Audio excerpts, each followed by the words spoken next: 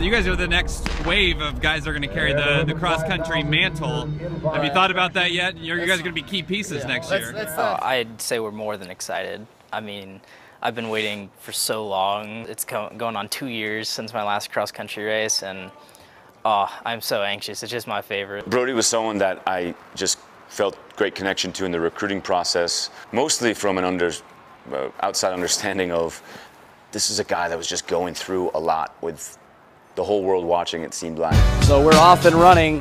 Brodey Hasty is looking for 759 in order to break Drew Hunter's record and be a national record holder. Brodey's talents were revealed early on in high school, and a big thing is, you know, his junior year, he you know, just ran fantastic. And so everything going into senior year is, you know, Brodey Hasty mania.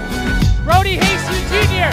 pulling away. Hasty shifts gears, blowing away. From Seconds away from a new national record. Brodey Hasty with a phenomenal last 50 meters is going to win it. Grimace on his face, legs churning, arms pumping to the line he comes. A single second off of the national record. Hasty is, of course, headed to Oregon next year you know, a lot of things came into play to me eventually choosing Oregon, but then when the coach left and it was kind of like I got to rethink like what I was actually there for.